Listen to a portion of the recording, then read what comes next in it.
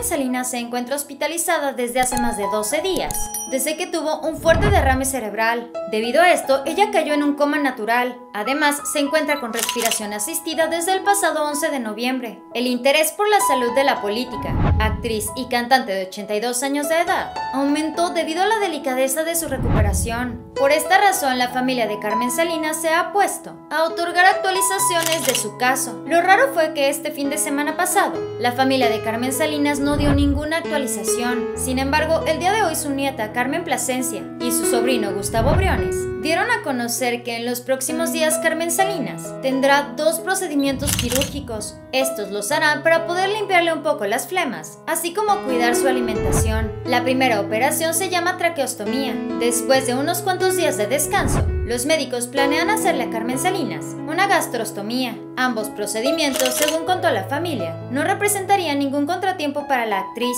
Los familiares de Carmen Salinas mencionaron, vamos a empezar con los procesos que siguen, es la traqueostomía y después la gastrostomía. Esto no es nada delicado, son los pasos a seguir, la intubación, las cuerdas vocales y los labios. Por eso, Carmen tiene la posibilidad de alguna infección en este encuentro con la prensa, los familiares de Carmen Salinas también platicaron que el exdiputado federal también ha comenzado a tener más movimientos corporales, que son reflejos de las acciones que los médicos están realizando con ella, como las revisiones que le hacen todos los días. También mencionaron que en la nueva tomografía que le realizaron, se dejó ver que la pérdida de fluido en su cuerpo va disminuyendo algo que catalogaron como una muy buena noticia. De igual manera revelaron que Carmen Salinas por el momento se encuentra estable, lo cual con todo lo que ha sucedido podemos tomar como algo muy positivo. Ella seguirá en recuperación dentro del hospital hasta que exista una mejoría notable con el paso de los días. El pasado 19 de noviembre los médicos especialistas a cargo de Carmen Salinas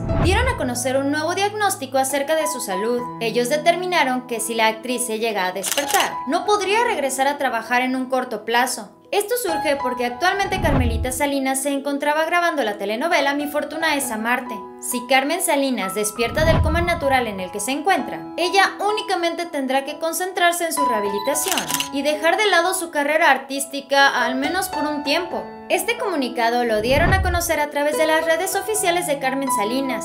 Estas palabras las escribieron al lado de una imagen de la actriz y dicen así, al público en general y medios de comunicación, a través de este medio informamos que por instrucciones de los médicos, la señora Carmen Salinas, en el caso de que recuperara el conocimiento, tendría que hacer una rehabilitación que no le permitiría tener una actividad laboral a corto plazo. Esto debido a que estaba cumpliendo con diversos proyectos. Seguimos orando por su pronta recuperación y agradecemos todas las muestras de cariño hacia nuestra familia. Atentamente, familia Salinas Lozano. Al momento en el que se dio a conocer este comunicado, Televisa también emitió una publicación, haciendo saber lo que pasará con el personaje de Carmen Salinas en esta producción. La televisora de San Ángel dio a conocer que será María Rojo, la que se encargará de encarnar a Margarita Domínguez Negrete. Esto fue Famosos de cerca. Dale like a este video, suscríbete y síguenos en Facebook. Espero que tengas un excelente día. Nos vemos muy pronto. Bye.